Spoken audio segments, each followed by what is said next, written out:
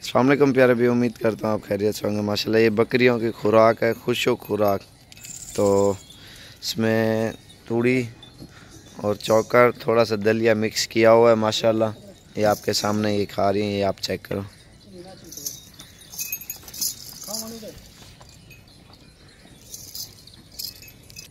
ایک دکھی نہیں لگ رہی۔ مکھی چینی۔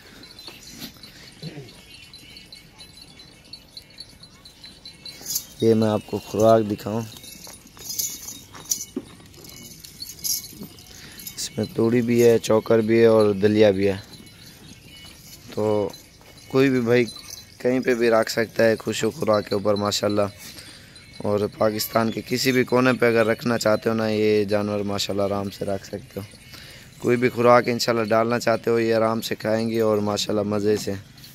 تو ان کو کوئی چیز کی ٹینشن نہیں ہے، خوش و خوراک، کوئی بھی کھلاؤ، تھوڑی تھوڑی گندوں بھی کھلاؤ، ان کو توڑی، چوکر، جس طرح کھال وغیرہ، اور بھی خوراکیں ہاں آ جاتی ہیں۔ کہیں پہ پٹھے وغیرہ نہیں بھی ہوتے، کوئی مسئلہ نہیں ہے ان چیزوں کا۔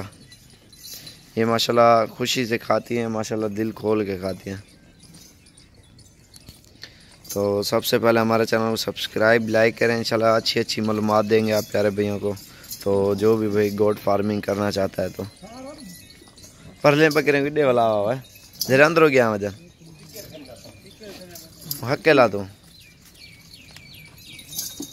یہ دیکھ رہے ہو نا ماشاءاللہ دل کھول کے یہ کھا رہی ہیں توڑی کو جو ہے نا پانی میں ڈبو کے اس کی مٹی وغیرہ دھول ہوگی نا اس سے نکال کے تو اس کے بعد اپنے چوکر مکس کر دینا یا دلیا وغیرہ.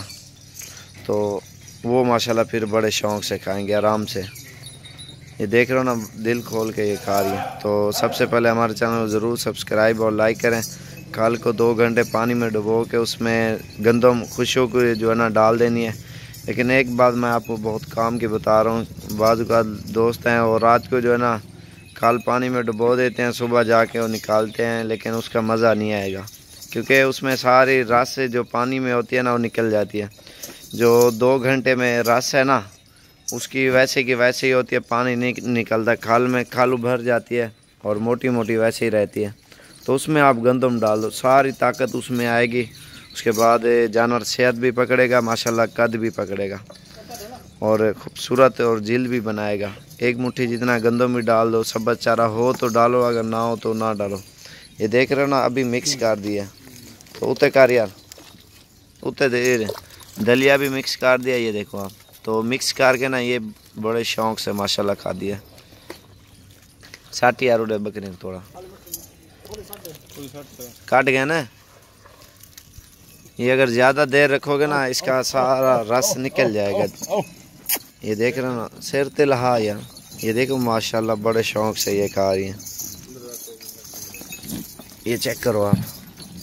تو ہمارے چینل کو جلدی جلدی سبسکرائب کریں، لائک کریں، انشاءاللہ مزید اچھی ویڈیو بنائیں گے آپ کو، دکھائیں گے ہر چیز کا متعلق، کیونکہ یہ پیج ہے ماشاءاللہ ہمارا، تو اس پیج کو آپ نے دوستوں کے ساتھ بھی شیئر کرنا ہے اور اچھی اچھی معلومات بھی دیں گے، اور ان کو تین ٹائم پانی ضرور رکھنا ہے، کیونکہ جانور صحیح رہتا ہے، بیمار بھی نہیں ہوتا، اگر پانی کم رکھو گے ان کے، جو آنکھیں نا، وہ نکل آئیں گے، ہڈیاں، تو اس طرح مال جو ہے نا، بیمار ہو جاتا ہے۔